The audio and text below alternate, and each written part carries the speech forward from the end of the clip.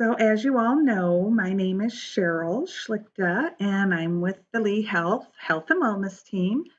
Thank you for joining us today for this mindfulness based meditation. It's never bad to take time out from your day just to catch your breath and reset and refocus, recharge, and re energize. So, thank you so much for joining me. The main thing to remember about mindfulness meditation is that there's no expectations, uh, so that way you can't get frustrated, and no judgment. Don't judge yourself. Just be, act like a beginner.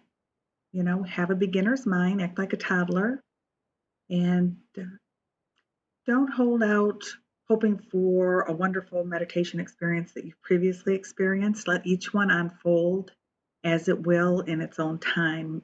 Uh, it's a whole new experience, and that's part of being mindful, is being right in this moment, right now, where we're at. So I'm really excited today because I have a mountain meditation that I would like to, to lead you in, and it's by Jon Kabat-Zinn. He's wonderful and I think you're going to enjoy it. So, this meditation is normally done in a sitting position, either on the floor or a chair, and begins by sensing you into the support you have from the chair or cushion, paying attention to the actual sensations of contact. Finding a position of stability and poise, upper body balanced over your hips and shoulders in a comfortable but alert position. Hands on your lap or your knees arms hanging by their own weight like heavy curtains, stable and relaxed. Actually sensing into your body, feeling your feet, legs, hips, lower and upper body, arms, shoulders, neck, head. And when you're ready, allowing your eyes to close bringing your awareness to breath, the actual physical sensations, feeling each breath as it comes in and goes out, letting the breath be just as it is without trying to change or regulate it in any way, allowing it to flow easily and naturally with its own rhythm and pace. Knowing you are breathing perfectly well right now nothing for you to do. Allowing the body to be still, sitting with a sense of dignity,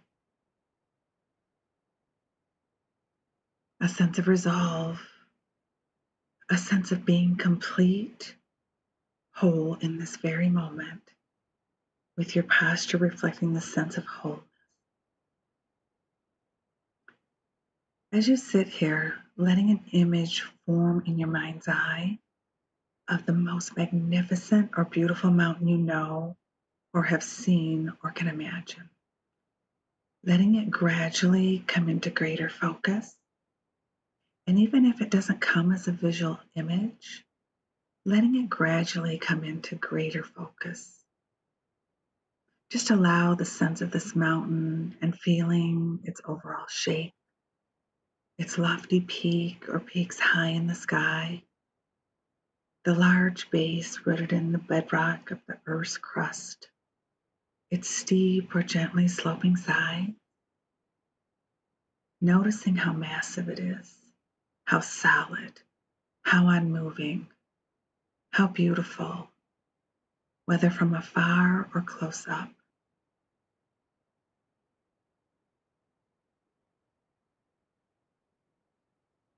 Perhaps your mountain has snow blanketing its top and trees reaching down to the base, or rugged granite sides. There may be streams and waterfalls cascading down the slopes. There may be one peak or a series of peaks, or with meadows and high lakes. Observing it, noting its qualities, and when you feel ready, seeing if you can bring the mountain into your own body, sitting here so that your body and the mountain and your mind's eye become one. So that as you sit here, you share in the massiveness and the stillness and the majesty of the mountain. You become the mountain. Grounded in the sitting posture, your head becomes the lofty peak, supported by the rest of the body and affording a panoramic view. Your shoulders and arms, the sides of the mountain. Your buttocks and legs, the solid base, rooted to your cushion or in your chair. Experience in your body a sense of uplifting from deep within your pelvis and spine.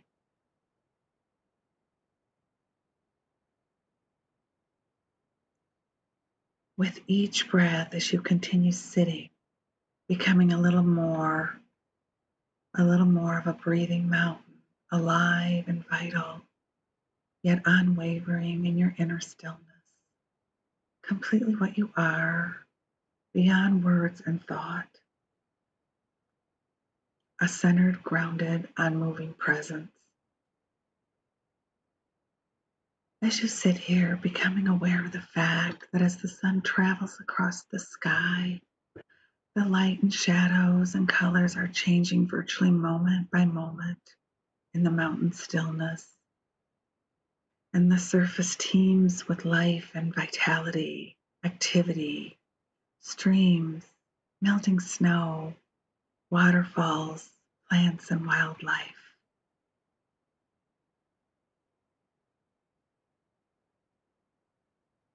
As the mountain sits, seeing and feeling how night follows day and day follows night, the bright warming sun, followed by the cool night sky studded with stars and the gradual dawning of a new day. Through it all, the mountain just sits, experiencing change in each moment, constantly changing, yet always just being itself. It remains still as the seasons flow into one another, and as the weather changes moment by moment and day by day, calmness abiding all change. In summer, there is no snow on the mountain except perhaps for the very peaks or in crags shielded from the direct sunlight. In the fall, the mountain may wear a coat of brilliant fire colors. In winter, a blanket of snow and ice.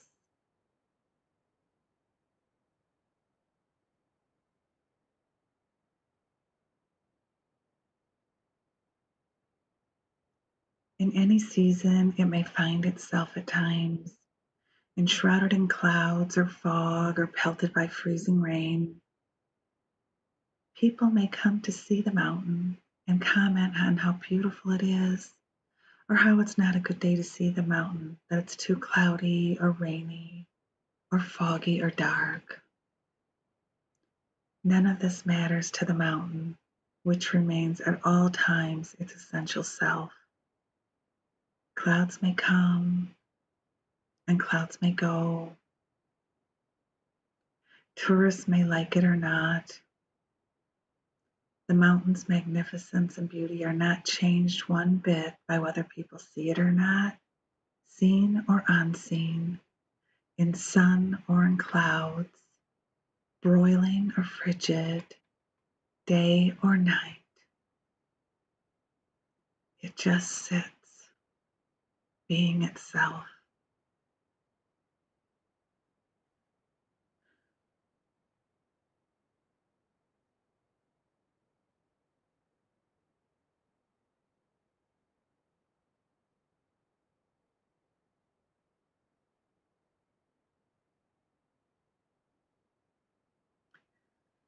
At times visited by violent storms, buffeted by snow and rain and winds of unthinkable magnitude, through it all, the mountain sits.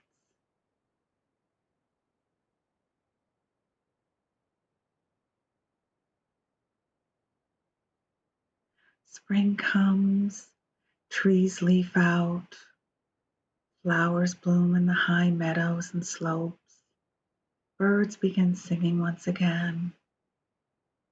Streams overflow with the waters of melting snow.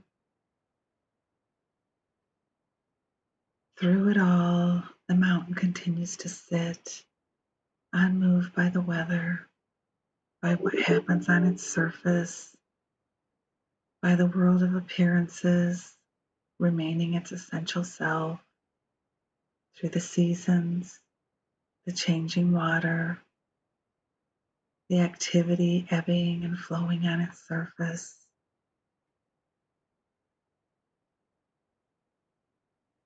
In the same way as we sit in meditation, we can learn to experience the mountain. We can embody the same central, unwavering stillness and groundedness in the face of everything that changes our own lives over seconds, over hours, over years.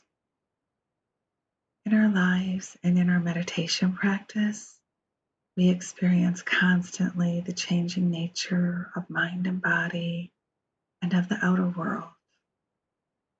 We have our own periods of light and darkness, activity and inactivity, our moments of color and our moments of drabness.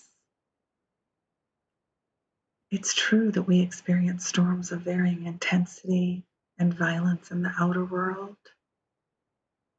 and in our own minds and bodies, buffeted by high winds, by cold and rain. We endure periods of darkness and pain, as well as the moments of joy and uplift. Even our appearance changes constantly, experiencing a weather of its own. By becoming the mountain in our meditation practice, we can link up with its strength and stability and adopt them for our own. We can use its energies to support our energy to encounter each moment with mindfulness and equanimity and clarity. It may help us to see that our thoughts and feelings, our preoccupations, our emotional storms and crises even the things that happen to us are very much like the weather on the mountain. We tend to take it all personally, but its strongest characteristic is impersonal.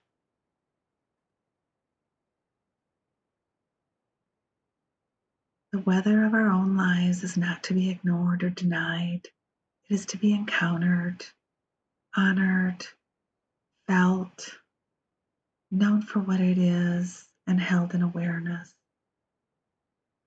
And in holding it in this way, we come to know a deeper silence and stillness and wisdom.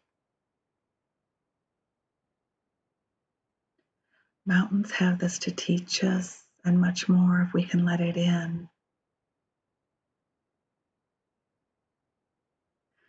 So, if you find you resonate in some way with the strength and stability of the mountain in your sitting, it may be helpful to use it from time to time in your meditation practice to remind you of what it means to sit mindfully with resolve and wakefulness in true stillness. So, in the time that remains, continuing to sustain the mountain meditation on your own in silence, moment by moment, until you hear the sound of the bells. And we'll just continue here for a couple more moments of deep breathing. I'll mind the time, and when you hear the bell, we can open our eyes as we gradually come into the room or wherever we are.